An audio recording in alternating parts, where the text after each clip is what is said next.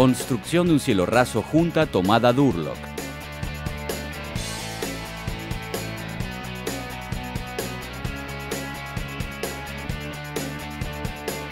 Paso 1. Replanteo y armado de estructura.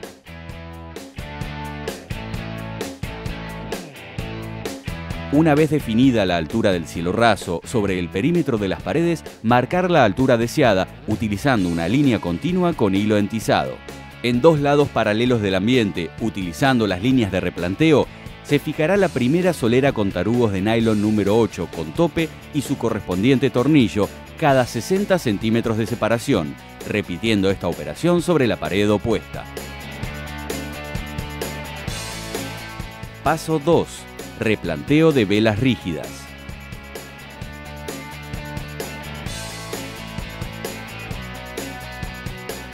Mediante el uso de una cinta métrica e hilo entizado sobre el techo existente, se marcará la posición de las vigas maestras con una separación de 1,20 metro en el sentido paralelo a las soleras perimetrales ya fijadas. Sobre estas líneas guías y de manera perpendicular, cada un metro de separación, se traza la grilla cuyo encuentro marca la ubicación de las velas rígidas. Paso 3. Armado de la estructura. Armado de velas rígidas. Las velas rígidas serán armadas mediante un perfil montante vertical y un perfil solera en horizontal de no menos de 10 centímetros de largo, formando un encuentro en T. La unión de estos dos perfiles se realiza con dos tornillos T1 punta aguja en cada lado.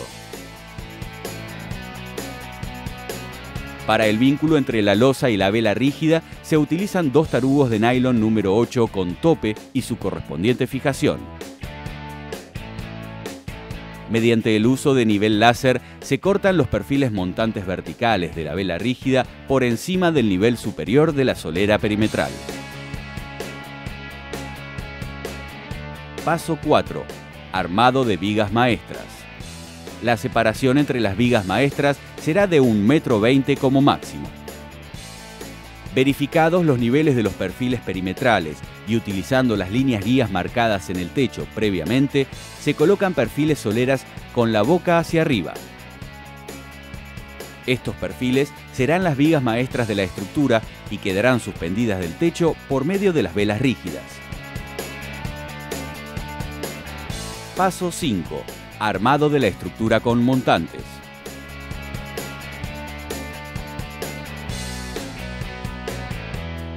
Transversalmente a las vigas maestras, los perfiles montantes se cortarán de acuerdo a las dimensiones del cielo raso, calculando aproximadamente un centímetro menos que la separación entre las soleras fijadas sobre las paredes. Dentro de las soleras perimetrales se colocarán los perfiles montantes cada 40 centímetros de separación.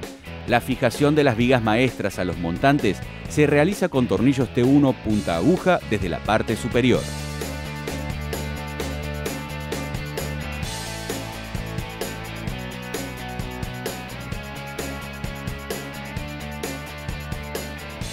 Paso 6. Emplacado. Una vez armada la estructura se colocarán las placas Durlock utilizando tornillos de acero tipo T2, colocándolos con una separación de 25 a 30 centímetros en el centro de la placa y de 15 centímetros en los bordes que coinciden con el eje de un perfil, a una separación de 10 milímetros de los mismos. Las placas se colocan en sentido transversal a la trama de montantes, trabándolas entre sí.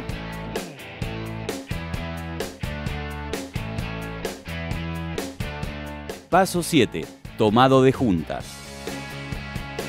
Utilizando masilla Durlock y cinta de papel microperforada, se realiza el tomado de juntas entre placas, siguiendo las recomendaciones detalladas en el video de tomado de juntas entre placas Durlock. Se aplican dos manos de masilla sobre la impronta de las fijaciones y sobre los perfiles de terminación. Paso 8. Perfiles de terminación. Para encuentros entre rasos con placas Durlock y paredes construidas con otro tipo de material, se deberá utilizar perfiles de terminación denominados ángulo de ajuste, buñaceta o molduras como juntas de trabajo. Estos podrán atornillarse mediante tornillos T2 punta aguja o pegados con cementos de doble contacto. Paso 9. Terminación final.